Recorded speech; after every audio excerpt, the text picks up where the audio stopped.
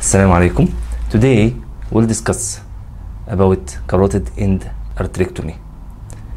We are continue talking about the stroke management. So, as you know, this uh, carotid artery and this blood goes through the lumen to go to brain. So, if the artery has atherosclerosis,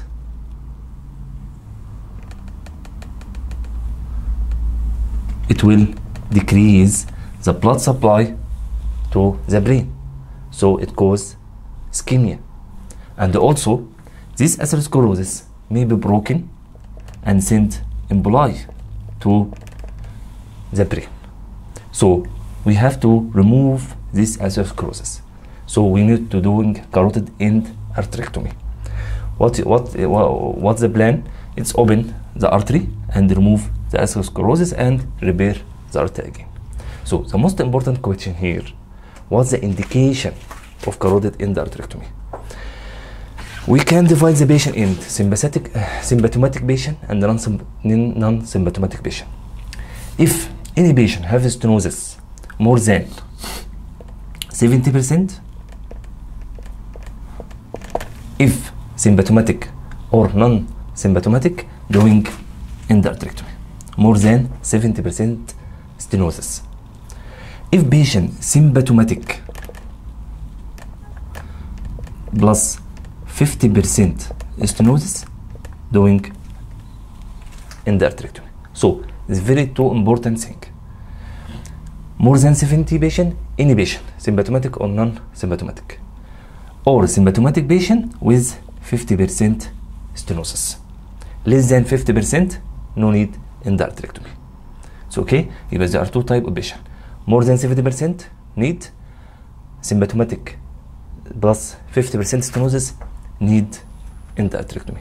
What's symptoms? Uh, neurological symptoms as uh, stroke, TIA, with stenosis, 50% doing endarterectomy. Some note uh, told about uh, carotid stent, carotid stent. Not common, not common as uh, not common as as coronary stent, but selected cases. What selected cases? Maybe in the مثلا in the common قوي in restenosis. Restenosis.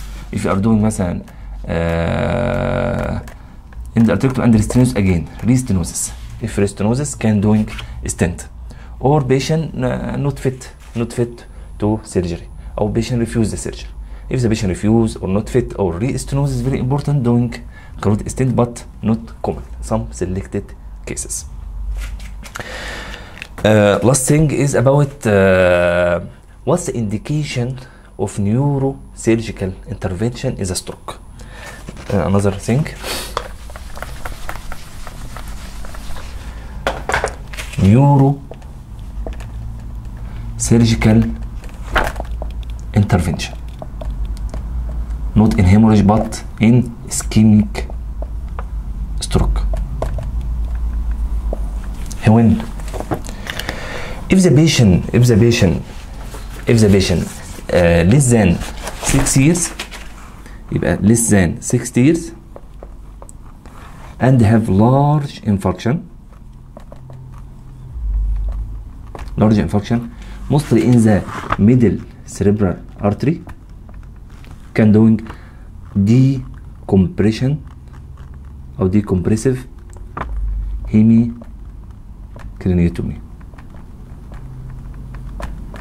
decompressive hemicraniectomy so open the skull to decrease intral intracerebral pressure يبقى large infarction mostly in the middle cerebral artery made decompressive hemicraniectomy to decrease an intracerebral artery. Or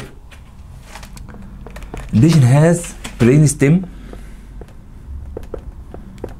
compression or hydrocephalus